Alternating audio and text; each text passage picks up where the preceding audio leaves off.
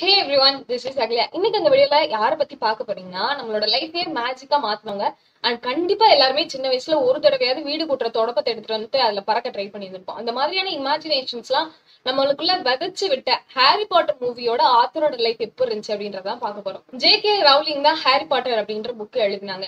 நான் எப்பயுமே Harry Potter மூவிலாம் பார்த்துட்டு ஒரு ரெண்டு நாள் கிட்ட வந்துட்டு அந்த ஹாரி பாட்டர் மூவிக்குள்ளேயே நான் இறந்துட்டே இருப்பேன். அப்பெல்லாம் யோசிப்பேன் இப்போ ஒரு மனுஷனால இவ்வளோ கிரியேட்டிவா யோசிக்க முடியுது அப்படின்னு யோசிப்பேன்.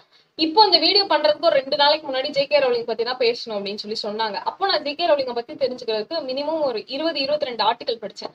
அது படிச்சதுக்கு அப்புறமா தான் தெரிஞ்சது இப்படி ஒரு சுச்சுவேஷன்ல எப்படி ஜே கே ரவுலிங் இந்த மாதிரியான ஒரு மாஸ்டர் பீஸ் எழுதுனாங்க அப்படின்னு தோணுச்சு. எனக்கு இப்பயுமே அதிர்ச்சியா இருக்கு. இப்படி ஒரு மனுஷனால அப்படி ஒரு சுச்சுவேஷன்ல இப்படி ஒரு மூவி எழுத முடிஞ்சு அப்படின்ற மாதிரி இருந்துச்சு. சின்ன எக்ஸாம்பிள் மாதிரி சொல்லணும்னா அவங்க ஹாரி பாட்டர் எழுதிட்டு இருந்த அதே சமயம் அவங்க லைஃப்ல நடந்த நிறைய பிரச்சனைனால சூசைட் பண்ணிக்கலாம் ட்ரை பண்ணியிருந்திருக்காங்க.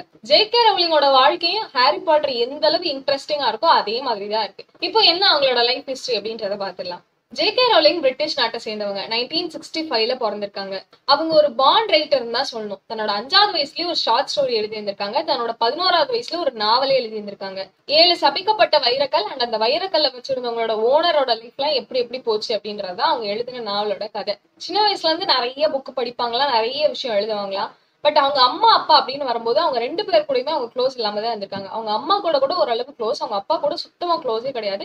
அண்ட் ஜே கே ரவுலிங்க்கு ஒரு தங்கச்சி இருந்திருக்காங்க. ஜே கே ரவுலிங் பிறக்கிறதுக்கு முன்னாடி அவங்க அம்மாவோட வயிற்றுல இருந்திருப்பாங்க இல்லையா? அப்போ அவங்களோட அப்பா வந்துட்டு பையனாதான் இருக்கணும் பையனாதான் இருக்கணும்னு ரொம்ப ஆசைப்பட்டாங்களாம். பட் கடைசியில பொண்ணா பிறக்கவுமே சின்ன வயசுல இருந்தே அந்த வெறுப்பா அந்த பொண்ணு மேல காமிச்சிட்டே இருந்திருக்காங்க ஜே கே ரவுலிங் மேல. அது அவங்க வந்துட்டு இருபது இருபத்தஞ்சு வயசு வர வரைக்குமே அவங்களோட அப்பா அப்படிதான் நடந்துட்டு இருந்திருக்காங்க. அவங்க வீட்டுல இருந்த அந்த சுச்சுவேஷன்ஸ் எல்லாம் வச்சுதான் ஹாரி பாட்டர் அவங்களோட அங்கிள் ஆண்டி வீட்டுல இருப்பாங்க இல்லையா? அந்த ஒரு சுச்சுவேஷனை கிரியேட் பண்ணாங்க அப்படின்னு சொல்லியிருந்திருக்காங்க. அவங்களோட வீடுமே எங்க இருந்திருக்குன்னா சுத்தி காடா உள்ள ஒரு பிளேஸ்ல தான் இருந்திருக்கு. இப்போ திரும்பி உங்களுக்கு ஹாரி பாட்டர்ல ஏன் அவ்வளவு அழகான காடு சீன்லாம் வருதுன்னு?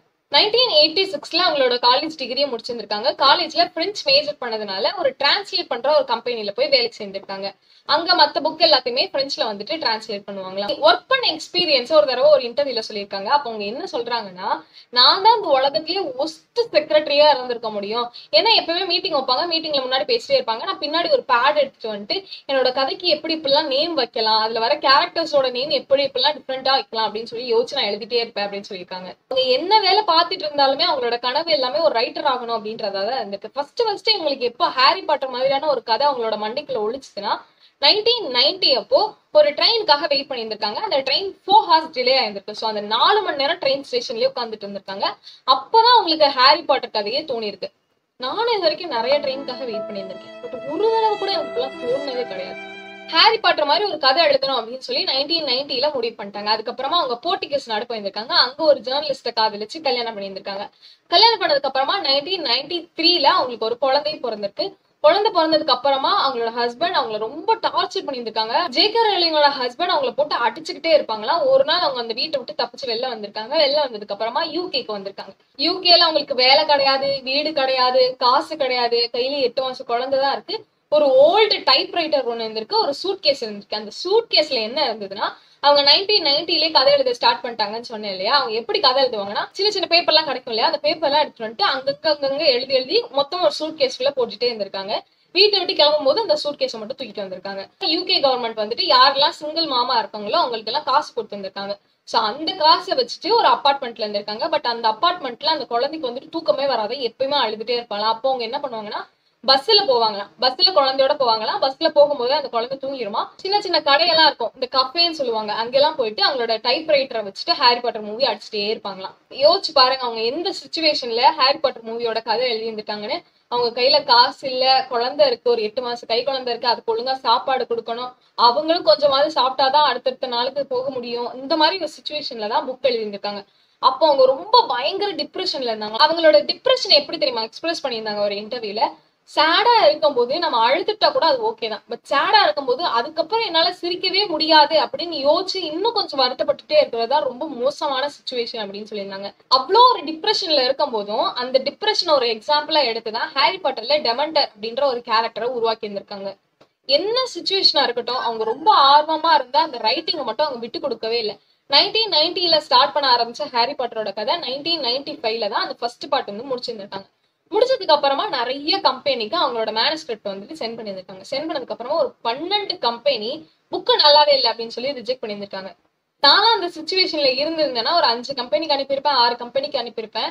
ஆறு கம்பெனி ரிஜெக்ட் பண்ணியிருந்தாங்கன்னா நம்ம புக்கு நல்லா இல்லை போல அப்படின்னு சொல்லிட்டு நான் வேற வேலை ஏதாவது பார்க்க போயிருப்பேன். பட் ஜேகே ரோலி அதுக்கப்புறமும் ட்ரை பண்ணி ட்ரை பண்ணி ட்ரை பண்ணி பதிமூணாவதா ஒரு கம்பெனிக்கு அனுப்பியிருந்திருக்காங்க. பிளாசம்பரி அப்படின்ற ஒரு கம்பெனிக்கு அவங்க புக்கை சென்ட் பண்ணியிருக்காங்க அவங்களும் புக்கை ஓகே சொல்லியிருந்திருக்காங்க. நைன்டீன் நைன்டி ஃபைவ்ல முடிச்ச புக்கு நைன்டீன் நைன்டி செவன்ல தான் ஒரு கம்பெனி வந்துட்டு அக்செப்ட் பண்ணியிருக்காங்க அக்செப்ட் பண்ணதுக்கு அப்புறமா ஒரு ஐநூறு காப்பி வந்துட்டு நாங்க ஃபர்ஸ்ட் ரிலீஸ் பண்ண போறோம் அப்படின்னு சொல்லியிருக்காங்க கம்பெனி என்ன சொல்லியிருந்திருக்காங்கன்னா நீங்க ஒரு பொண்ணு ஒரு பொண்ணு எழுதின புக்கை வந்துட்டு பசங்க ஆர்வமா வாங்கி படிக்க மாட்டாங்க. சோ உங்களோட பேரை வந்துட்டு ஒரு பையன் பேர் மாதிரி மாத்திக்கோங்களேன் அப்படின்னு சொல்லியிருந்திருக்காங்க. எக்ஸாம்பிளுக்கு சொல்லணும்னா ஆக்டர்ஸ் எல்லாருமே வந்துட்டு நடிக்க வரதுக்கு முன்னாடி ஒரு பேர் வச்சிருப்பாங்க. நடிக்க வந்ததுக்கு அப்புறமா ஒரு பேர் வச்சிருப்பாங்க.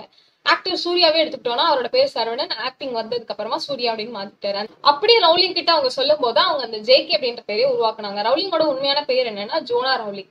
ஜோனாக்கு ஜே அண்ட் அவங்களோட கிராண்ட் மதரான கேப்லின் அப்படின்றவங்களோட கே எடுத்துட்டு ஜே கே ரவுலிங் அப்படின்ற பேரை அவங்களே வச்சுக்கிட்டாங்க. உண்மையை சொல்லணும்னா நான் ஜே கே ரவுலிங் பையனை தான் டூ தௌசண்ட் செவன்டீன் வரைக்குமே நினைச்சிட்டு இருந்தேன். என் கையில ஒரு போன் வந்ததுக்கு அப்புறமா தான் ஜே கே ரவுலிங் ஒரு பொண்ணுன்றதே எனக்கு தெரியும்.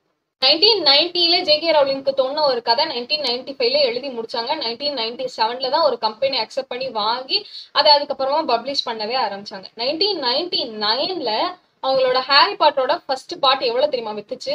மூணு லட்சம் காப்பி வித்து இருந்திருக்கு நைன்டீன் நைன்டி எயிட்லயே வார்னஸ் ப்ரோ வந்துட்டு இந்த கதையை வந்துட்டு நாங்க படமா மாத்தணும் அப்படின்னு சொல்லி அவங்க கிட்ட அக்ரிமெண்ட் போட்டு அக்ரிமெண்ட்டும் வாங்கிட்டாங்க அப்போ ஜே கே ரவுலிங் ரெண்டே ரெண்டு புக்கு தான் ரிலீஸ் பண்ணியிருந்தாங்க. நைன்டீன் நைன்டி எயிட்ல ஜே கே ரவுலிங் கூட ஒரு ஒப்பந்தம் போட்டுக்கும் போது வார்னஸ் ப்ரோக்கே ஏழாவது கதை என்னன்னு யாருக்குமே தெரியாது. ஏன்னா ஏழாவது கதை ஜே கே ரவுலிங் எழுதவே இல்லை. அதுக்கப்புறமா தான் எழுதவே ஸ்டார்ட் பண்ணியிருக்காங்க. Third story fourth story fifth ஸ்டோரின்னு but அதுக்கு முன்னாடியே ஜே கே ரவுலிங் வந்துட்டு மனசுல ஃபிக்ஸ் பண்ணிட்டாங்க. இந்த கதைக்கு மொத்தமா செவன் பார்ட் இருக்கணும் அப்படின்றது. அதுக்கப்புறமா ஜே கே ரோலிங் பயங்கர ஃபேமஸ் ஆக ஆரம்பிச்சிருந்திருக்காங்க. கதை அதுக்கப்புறமா மில்லியன் கணக்குல போய்கிட்டே இருந்தது காப்பீஸ் எல்லாமே. டூ தௌசண்ட் ஃபோர்ல அமெரிக்கா ஒரு லிஸ்ட் ரிலீஸ் பண்ணியிருந்தாங்க. பில்லியனா இருக்கிறவங்களோட லிஸ்ட் அந்த லிஸ்ட்ல ஜே கே ரோலிங்கா இருந்தாங்க. அவங்க அந்த லிஸ்ட்ல இருக்காங்கன்னு தெரிஞ்சதுக்கு அப்புறமா அவங்க என்ன பண்ணாங்கன்னா அவங்களோட சொத்துல பாதியை சேரிட்டிக்கு எழுதி கொடுத்துருந்துருக்காங்க. நான் பில்லியனரா இருக்க என்னைக்குமே விருப்பப்படலை அப்படின்னு சொல்லியிருந்திருக்காங்க. ஃபர்ஸ்ட் புக் ரிலீஸ் ஆன ரெண்டு மாசத்துலயே ரீமேரேஜ் பண்ணிக்கிட்டாங்க. அதுக்கப்புறமா அடுத்தடுத்த புக் ரிலீஸ் பண்ணிட்டே இருந்தாங்க. டூ தௌசண்ட் செவன்ல ஹாரி பாட்டரோட லாஸ்ட் பார்ட் ரிலீஸ் ஆச்சு செவன்த் பார்ட் அந்த லாஸ்ட் புக் மட்டுமே four fifty million copies release ஆச்சு. அறுபத்தி ஏழு லாங்குவேஜ்ல டிரான்ஸ்லேட் பண்ணாங்க. டூ தௌசண்ட் லெவன்ல ஹாரி பாட்டரோட அந்த செவன்த் பாட்டை ரெண்டா பிரிச்சு பார்ட் செவன் பார்ட் எயிட் அப்படின்னு சொல்லி படமாவும் ரிலீஸ் பண்ணாங்க. ஜே கே ரவுலிங்கோட லைஃப் ஹிஸ்டரியில இருந்து நம்ம கத்துக்க வேண்டியது என்னன்னா இப்போ நம்மளுக்கு ஒரு விஷயம் பிடிச்சிருச்சுன்னா அது எந்த சமயத்திலயுமே விட்டுறவே கூடாது. யோசிச்சு பாருங்க நைன்டீன் நைன்டில ஸ்டார்ட் ஆன ஒரு கதை நைன்டீன் நைன்டி ஃபைவ்ல தான் முடிஞ்சது. எழுதி முடிக்கவே அஞ்சு வருஷம் ஆச்சு. அது ஒரு கம்பெனிக்கு விற்கிறதுக்கு ரெண்டு வருஷம் ஆச்சு. ஹாரி பாட்டர் மாதிரியான ஒரு மாஸ்டர் பீஸையே பன்னெண்டு கம்பெனி ரிஜெக்ட் பண்ணியிருந்திருக்காங்க. பட் பன்னெண்டு கம்பெனி ரிஜெக்ட் பண்ணதுக்கு அப்புறமா கூட அவங்களோட நம்பிக்கையை இழக்காம அடுத்தடுத்து அனுப்பிட்டே தான் இருந்தாங்க. அப்படி நம்பிக்கையை இழக்காம இருந்ததுக்கான பலனாதான் அவங்க இப்படி ஒரு சக்சஸ் பார்த்தாங்க. உங்களோட ட்ரீமும் ரொம்ப பெருசா இருக்கு. பட் அது அடுத்தடுத்து ரிஜெக்ட் ஆயிட்டே இருக்கு அப்படின்னா சோர்ந்து போயிடாதீங்க.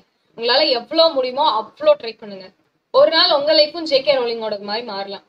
இந்த வீடியோ உங்களுக்கு பிடிச்சிருந்துச்சா மறக்காம லைக் பண்ணுங்க ஷேர் பண்ணுங்க கமெண்ட் பண்ணுங்க. முக்கியமா செவன் மினிட்ஸ் இன்போ சேனலுக்கு சப்ஸ்கிரைப் பண்ணிருங்க பக்கத்துல உள்ள பெல் ஐக்கனை கிளிக் பண்ணிருங்க